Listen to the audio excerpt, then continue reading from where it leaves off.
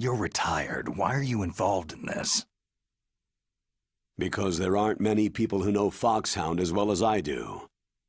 Is that the only reason? I've been soldiering for a long time.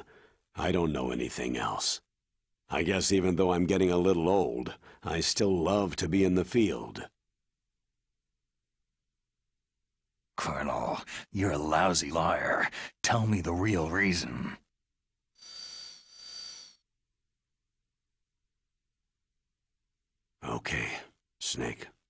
Sorry.